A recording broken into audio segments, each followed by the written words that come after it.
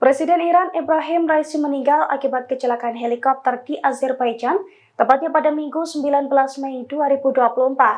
Padahal sebelum meninggal dunia, Raisi sempat digadang-gadang sebagai kandidat utama pengganti pemimpin tertinggi Iran Ayatollah Ali Khamenei.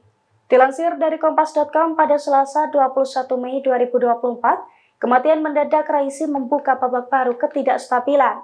Terlebih Raisi meninggal saat Republik Islam Iran sibuk memilih pemimpin tertinggi berikutnya.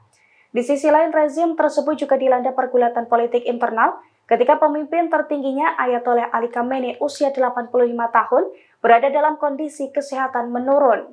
Sebelum tewas, Raisi dianggap sebagai kandidat utama yang menggantikan Ayatollah Ali Khamenei. Sebab Raisi dinilai memiliki syarat yang berhubungan dengan status agama dan ideologi revolusioner. Ketika menjadi pemimpin tertinggi, Raisi dinilai mampu melanjutkan kebijakan domestik dan regional Iran. Raisi juga diprediksi mendorong penguatan poros perlawanan aliansi anti-Barat dan anti-Israel.